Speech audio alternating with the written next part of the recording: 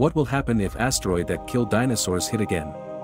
The impact of an asteroid that killed the dinosaurs was a cataclysmic event that shook the very foundations of our planet, and if it were to happen again, the consequences would be equally terrifying. As a dark, looming object hurtles towards Earth, it heats up, leaving a blazing trail of fire and destruction in its wake. The force of the impact is unimaginable, unleashing energy equivalent to millions of nuclear bombs, triggering massive earthquakes, tsunamis, and volcanic eruptions that wipe out entire cities and plunge the world into darkness.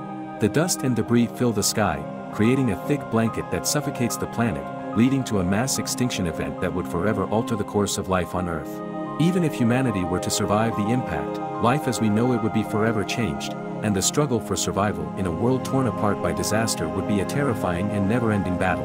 While scientists are taking steps to prevent a catastrophic impact, the possibility of such an event still remains, and the consequences would be truly terrifying.